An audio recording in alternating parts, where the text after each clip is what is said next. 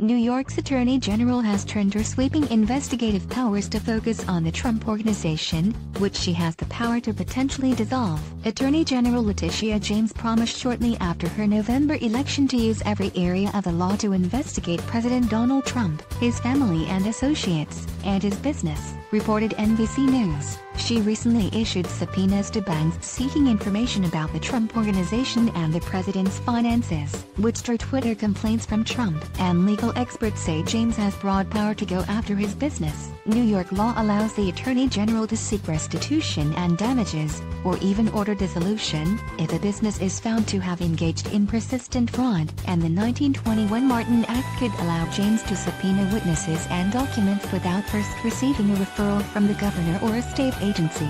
The Martin Act applies to almost any financial transaction conducted in a state, and has been used in the past to pursue securities fraud and other white-collar crimes that are typically handled by federal prosecutors. New York's Attorney General also holds, according to the state Supreme Court, the power to pass a judgment of corporate death when a company's crimes are deemed a harm or menace to the public welfare. It's not yet clear what crimes James is investigating, but she opened her probe into Trump's banking after his former attorney Michael Cohen told Congress last month that the president had inflated the value of his assets in financial statements he submitted in loan applications, and a source told NBC News her investigation was moving quickly.